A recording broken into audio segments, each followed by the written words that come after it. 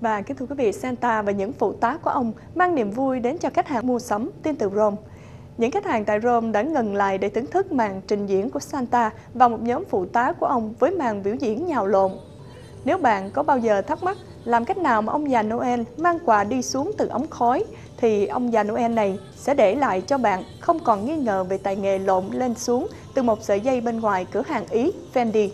Đã có nhiều người ở bên ngoài hơn là ở bên trong cửa tiệm, với rất nhiều người bàn luận là năm nay rất ít người đi mua sắm, mà chỉ đi ngắm nhìn bên ngoài cửa sổ.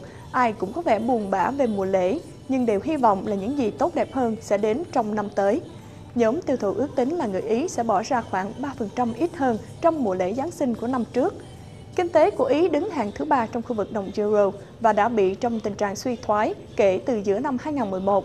Tuy nhiên, trên những đường phố của Rome, tinh thần Giáng sinh vẫn còn sống động với rất nhiều khách hàng biếu tặng đồ chơi mới cho trẻ em trong bệnh viện nhi đồng của thành phố.